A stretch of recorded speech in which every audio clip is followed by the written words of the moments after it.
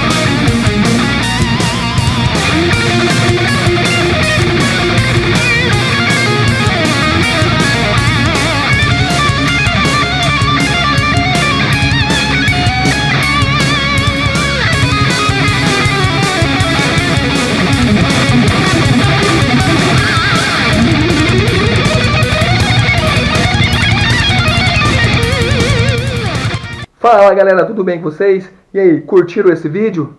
Eu quero que vocês saibam que o que eu fiz hoje não é crossfit e também não é treinamento funcional.